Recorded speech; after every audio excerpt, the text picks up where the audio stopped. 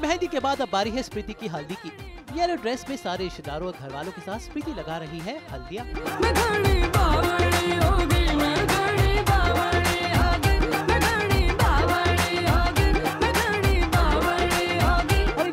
सहेलियाँ बना रही हैं कलीरे।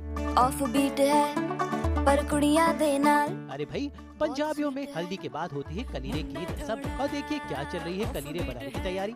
नर्वसनेस और वो सब फीलिंग्स अभी गायब हो चुकी हैं क्योंकि अभी काम बहुत सारे करने हैं और शादी आज ही है और थोड़ी देर में ही है।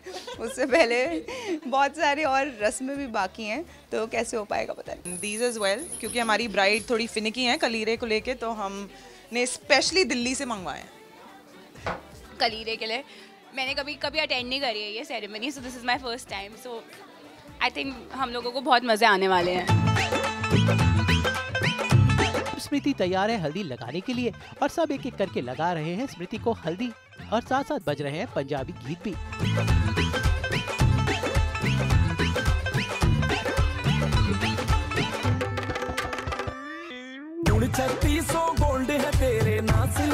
इसमें इन्होंने कोई मस्टर्ड ऑयल डाला है जो मेरे मुँह पे बहुत बर्निंग टाइप्स हो रही है। तो ये हल्दी जितनी एक्साइटिंग दिख रही है, उतनी एक्साइटिंग हो नहीं रही है। और अब फटाफट जाके पाँच मिनट बाद रेडी भी होना है तो फटाफट चार लेना है। और चूड़े की सेरेमनी भी हो गई है, जैसे कि आपने देखा पंजाबी में चूड़ा होता है, फिर सारे मासीज मिठाई भी खानी होती है, सब कुछ करना होता है। और सारी रस्में हो चुकी हैं। अब लास्ट रस्म बची है, जिसमें मैं सारी अनमेरिड लड़कियों के ऊपर ऐसे ऐसे कलीरें करूँगी और जिसके सर पे कलीरे गिरेंगी उसकी उनकी शादी सबसे पहले होगी। नवराई माची लाडाची लाडाची ग। इसके बाद दुल्हन तैयार होगी और लेगी अपना फाइनल वेडिंग लुक और स्मृति हो जाएगी गौतम की। भाई यही तो मज़ा है तीस भारतीय शादियों का।